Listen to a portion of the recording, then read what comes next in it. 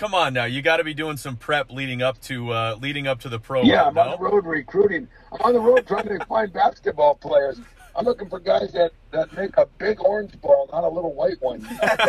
How much golf do you even get to play, Coach? I mean, I, I imagine you're You know- just so busy. That's that's the problem. Right now, I'm on the road, so I I played like three times this year. So, uh, but one time I played uh, one time in like uh, six weeks, and then I was paired in a pro am up at uh, Van Blank and played with Tiger and embarrassed myself. So I have no problem embarrassing myself, guys. There's it's just part of the deal. If those golfers want to come down and shoot some hoops, I'd take them on. But when it's vice versa, it's a little hard.